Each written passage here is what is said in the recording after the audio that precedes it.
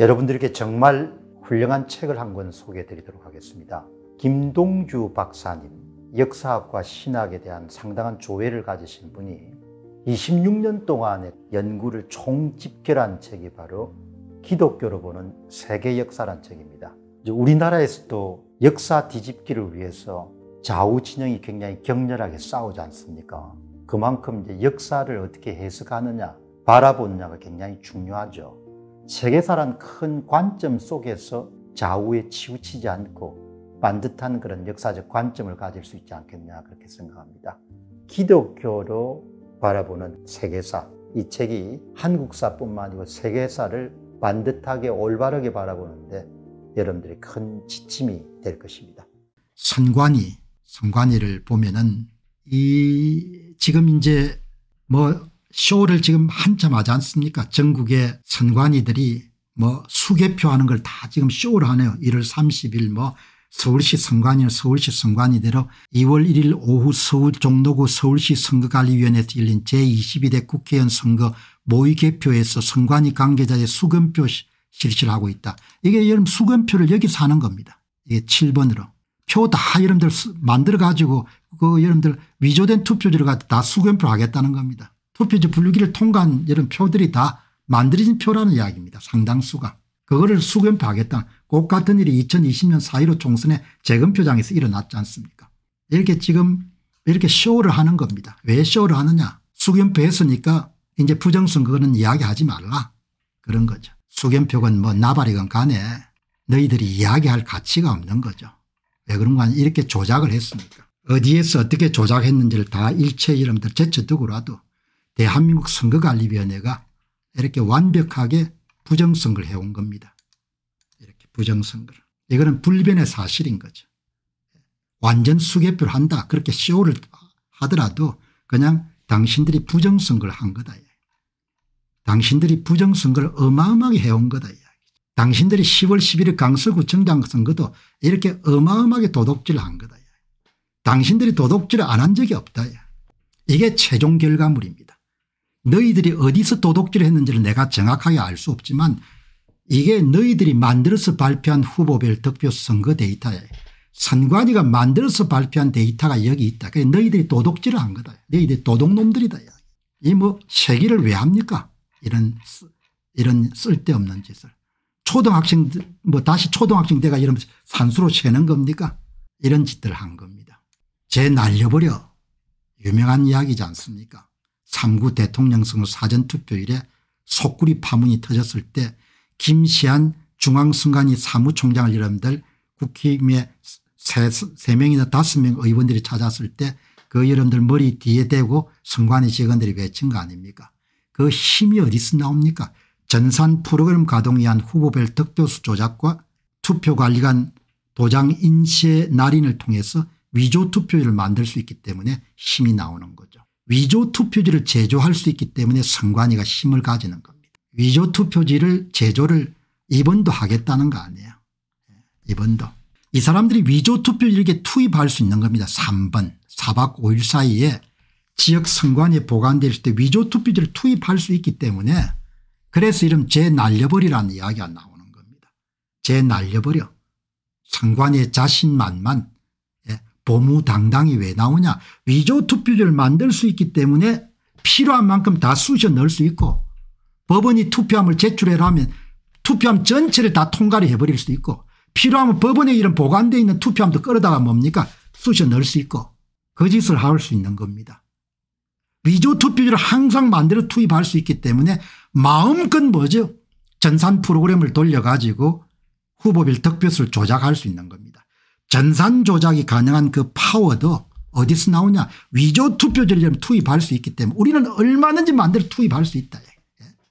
필요하면 4박 5일 사이에 지역 선관위에서 보관하고 있는 거에 투입할 수 있고 법원이 선거 무효 소송이 제기돼가 지고 필요한 투표함 제출해라 증거 보존 명령이 떨어지게 되면 그냥 다 소각하고 이름도 다 이름도 채워 넣을 수 있는 겁니다. 그거를 다 가능하게 그래서 국민의힘에 특별위원회에서 늦게 김상훈 위원장 이만희 여러분들 위원 정점식 위원 김용판 위원 유상범 의원 조은희 위원 저봉민 의원 이름으로 2주 안에 투표관리관 개인도장 날인에 대한 방안을 찾아오라 이렇게 했는데 지금 3주째가 되는 겁니다. 이 사람들 협조 안 하겠다는 겁니다. 다르게 이야기하면 계속 조작하겠다는 이야기인 거죠. 이렇게 여러분들 지금 이야기가 돌아가고 있지 않습니까 이 사람들 이 사람들이 뭐라고 여러분 이야기하든지 간에 이 부정선거 여러분들 수단을 놓지 않으려고 하는 거죠. 위조 투표점을 만들 수 있으면 결과를 얼마든지 조작할 수가 있습니까 예. 여러분 이 보시기 바랍니다. 이게 3510개 은면동이지 않습니까 조금 전에 소개해드렸던 관내 사전투표 득표일 빼기 당일 투표 득표율입니다. 이런 조작을 한 거죠. 이런 조작을 이게 전국입니다. 전국에서 다 조작을 해가지고 3510개 가운데 몇 군데 정도가 예, 플러스 마이너스가 좀 바뀐 경우가 있습니다. 그러나 이게 뭔가 하니까 3구 대통령 선거 전국에서는 동전을 던져가지고 3510개가 곱한 확률의 그런 선거 결과가 나온 겁니다. 3510개까지는 아니겠지만 뭐 3500개 정도 되겠죠.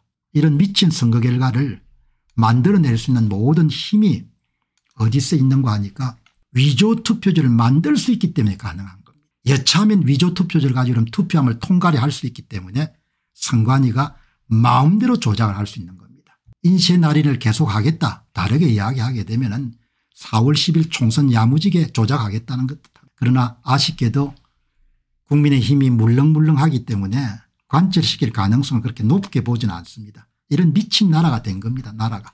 예. 이게 서울입니다. 425개입니다. 425개. 관내 사전투표 득표율 빼기 당일 투표 득표율 425개입니다. 음 서울시의 동의 425개네요. 평균 11.69% 더해주고 사전투표를 10.47% 빼앗았으니까 대략 여러분들 24% 조작을 한 겁니다. 플러스 12 마이너스 12 두 개 합쳐가지고 24% 3구 대통령 선거에서 관내 사전투표를 조작한 겁니다. 항보야님 감사합니다. 이렇게 여러분들 조작을 한 겁니다. 자, 이 보시기 바랍니다. 예, 이 앞부분만 여러분들 여러분 자세히 보시기 위해 가지고 앞부분만 이렇게 한번 떼봤습니다. 이게 선거입니까 이런 선거를 대한민국 선거관리위원회가 이렇게 결과를 만든 겁니다. 이게 확률이 여러분들 이런 일이 발생할 확률이 동전을 던져 가지고 안면이 여러분 등장할 확률이 425개를 던져서 모두 다 앞면이 나올 확률인 거. 여러분 동전을 425개 던져 가지고 모두 다 뭡니까 앞면 앞면 앞면 앞면 앞면 앞면 앞면이 나올 확률을 그게 3구 대통령 선거 결과인 겁니다. 이런 짓거리를 한 겁니다. 완전히 국민을 뭡니까 개 가재 붕어 아니면 돼지 이름들 송충이 정도 생각하지 않고서는 이런 범죄를 저지를 수 없는 겁니다. 이거를 한 겁니다. 이게 김세안과 노정희 여러분들 체제 하에서 일어난 겁니다. 다 잡아 넣어야 되는 인간입니다. 나라를 이렇게 망쳐가지고 예, 이렇게 선거를 도둑질 해 가지고 권력을 만들고 여러분 이 보시기 바랍니다. 이게 이게 425개고 여러분들 이게 대구입니다. 대구. 예. 대구는 142개의 동이 있습니다. 대구는 142개의 동이 있는데 142개 거의 뭡니까 몇 개를 세 개, 세 개는 세 개동 빼고 전부가 다 뭡니까 예, 플러스입니다. 이렇게 나오는 겁니다. 142개 동 가운데 세개동 빼고 모두 다 더블당이 다 여러분들 관내 사전투표 득표율 빼기 당일 투표 득표율이 플러스인 겁니다. 그러니까 대구 광역시도 야무지게 조작을 한 겁니다. 그래도 다행인 것은 세개 정도 나왔네요. 아, 플러스가 아닌 게. 예. 이게 여러분들 뭘 이야기하는 겁니까 동전을 계속 던져가지고 140 여러분들 138개 정도가 모두 다 여러분들 앞면이 나온 다보탑이 10원짜리가 예, 뭐 던지면 다보탑이 나올 확률인 겁니다. 기가 차지 않습니까 이게 여러분들 부산입니다. 부산. 예.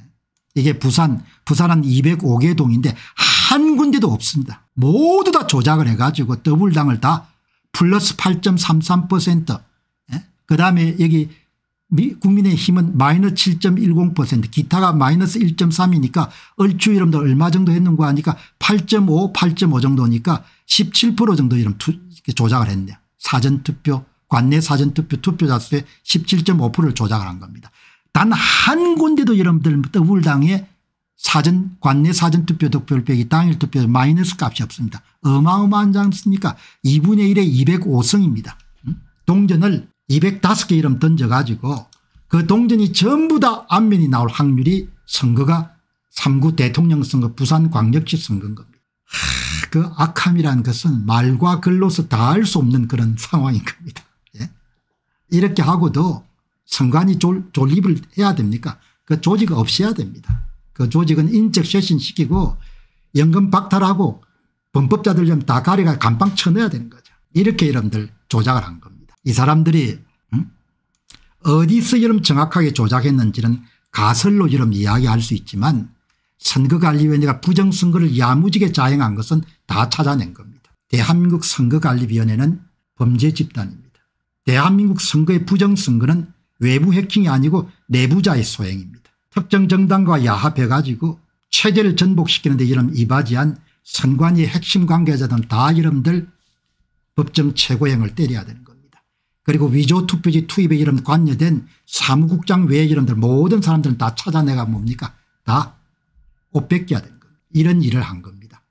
나는 조작을 했을 방법에 대해서는 가설을 계속해서 주장하고 찾아내지만 예. 그러나 부정선거가 일어난 것은 거부할 수 없는 사실인 겁니다. 이거를 윤 대통령이 듣겠다. 그럼 그냥 윤 대통령도 그냥 뭡니까 그냥 죄인인 겁니다. 절대 그냥 못 갑니다. 예. 윤 대통령도 정신 바짝 차려야 되는 겁니다. 본인이 그냥 똥바가지 쓰지 말고 어떻게 그렇게 생각들이 흐리멍텅해 가지고 한동훈 이거 듣고 갈 수 있을 것 같아 대통령 에라이 대통령 해봐 그래. 대통령 어떻게 해먹냐 그렇게 양심 불량해 가지고 대통령이 뭐 음? 한 사람이 운 이런 대통령 됐으면 지도 대통령 되고 싶은 말이 천만의 말씀이에요. 2022년도 대통령 선거의 실상을 파헤친 도둑놈들 2권 2022년 대선 어떻게 훔쳤나 그리고 도둑놈들 3권 2022년 대선 무슨 짓을 했나를 출판하게 되었습니다. 공직선거를 해부하는 도둑놈들 시리즈가 계속 나올 수 있도록 여러분께서 구매해 주시고 주변에 널리 알려주시기 바랍니다. 선거를 바로 세우고 나라를 바로 세우는 일에 여러분께서 힘을 대해 주시기 바랍니다. 감사합니다.